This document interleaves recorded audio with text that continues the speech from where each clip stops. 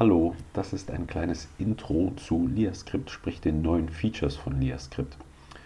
Ähm, LiaScript, für die, die es noch nicht wissen, basiert auf einer einfachen Erweiterung von Markdown. Das heißt, jeder, der Markdown beherrscht, kann im Prinzip schon loslegen und LiaScript-Dokumente für die Lehre äh, zum Beispiel zu schreiben oder zu entwerfen oder einfach nur um seine Projektdokumentation auf GitHub, äh, GitHub interaktiver zu gestalten. Das heißt, hier benutze ich den Atom Editor ähm, zum Schreiben der Markdown und hier das ist, der Lias, das, ist das LiaScript Preview Plugin. Das heißt, wenn ich hier irgendwas schreibe,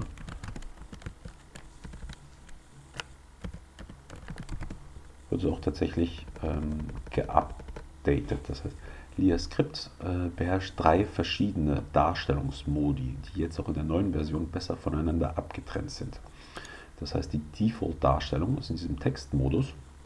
Äh, das Ganze kann aber auch genutzt werden für Präsentation oder eine erweiterte Präsentationsdarstellung in Form von Slides. Wir nutzen, nutzen hierfür diese einfache Syntax mit den doppelt geschweiften Klammern.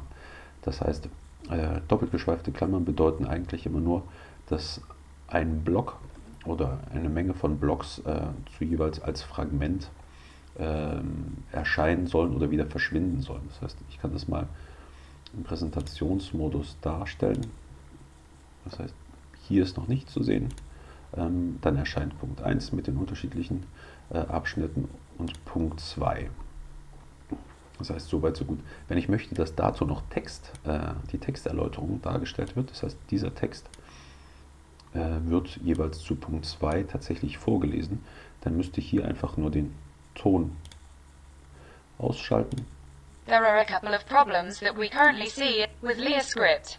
We try to implement an und kann sich so äh, auch das Ganze in einer Art Live-Präsentation äh, anzeigen lassen. Oder wenn man den Ton ausgeschaltet hat, kann man das Ganze einfach in einer äh, zu Präsentationszwecken nutzen.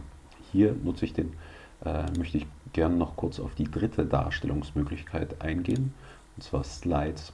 Äh, diese bilden sozusagen eine erweiterte äh, Form der Repräsentation. Das heißt, die Texte, die vorgelesen werden, werden jetzt hier im Desktop-Modus, kann man sie links anzeigen, äh, rechts, tut mir leid, äh, und sogar zur Navigation nutzen.